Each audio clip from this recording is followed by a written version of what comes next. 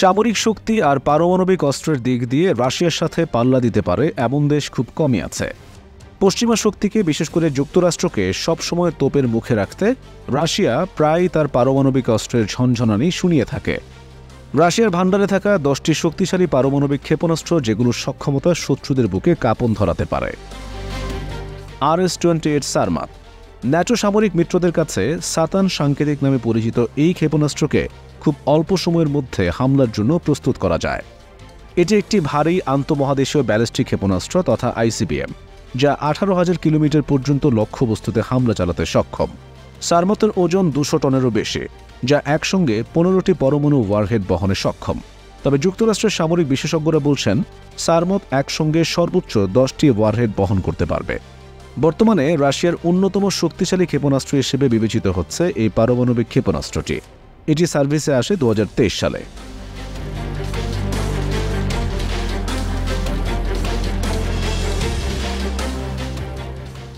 R T two PM two Topol M. এটি একক warhead বিশিষ্ট রাশিয়ান সলিড জ্বালানিযুক্ত আন্তঃমহাদেশীয় ব্যালিস্টিক ক্ষেপণাস্ত্র, যার রেঞ্জ এগারো হাজার কিলোমিটার। এই ক্ষেপণাস্ত্রটি রাশিয়ার সবচেয়ে নির্ভরযোগ্য ক্ষেপণাস্ত্রগুলোর মধ্যে একটি হিসেবে বিবেচিত। এই মিসাইলের ওজন সাতচল্লিশ হাজার দুশো কেজি। ইউআর হান্ড্রেড এন আট্রা। একক ওয়ারহেড বিশিষ্ট এই মিসাইল সেকেন্ডে সর্বোচ্চ সাত দশমিক ছয় চার কিলোমিটার গতিতে কোনো বস্তুতে আঘাত করতে সক্ষম। রাশিয়ার সবচেয়ে পুরনো মিসাইলগুলোর মধ্যে এটি একটি, যা শত্রুকে সমূলে বিনাশ করতে খুবই কার্যকর।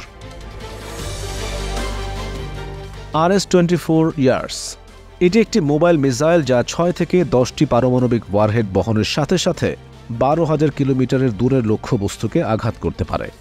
দু হাজার এগারো সালে সার্ভিসে আসা অত্যন্ত শক্তিশালী এই ক্ষেপণাস্ত্রটিকে রাশিয়ার সবচেয়ে উন্নত মিসাইলগুলোর মধ্যে একটি ধরা হয়।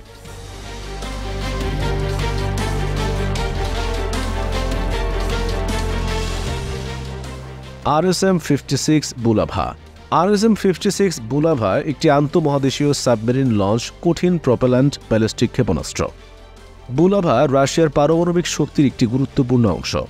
বুলাভাকে রাশিয়ার বোরি শ্রেণির ব্যালিস্টিক মিসাইল সাবমেরিনে মোতায়েন করার জন্য ডিজাইন করা হয়েছিল।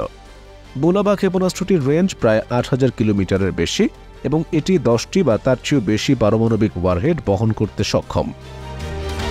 P seven hundred Granit P seven hundred Granit একটি রাশিয়ান নৌবাহিনীর জাহাজ বিরোধী ক্রুজ ক্ষেপণাস্ত্র। এটি সারফেস টু সারফেস এবং সাবমেরিন লঞ্চ করা ভেরিয়েন্টে আসে এবং স্থল লক্ষ্যবস্তুর বিরুদ্ধেও ব্যবহার করা যেতে পারে। এই ক্রুজ ক্ষেপণাস্ত্রটি ছশো কিলোমিটার দূরের লক্ষ্যবস্তুকেও আঘাত হানতে সক্ষম। KH one zero two KH one zero two একটি প্রচলিত এবং পারমাণবিক শক্তিসম্পন্ন এয়ার লঞ্চ ক্রুজ ক্ষেপণাস্ত্র।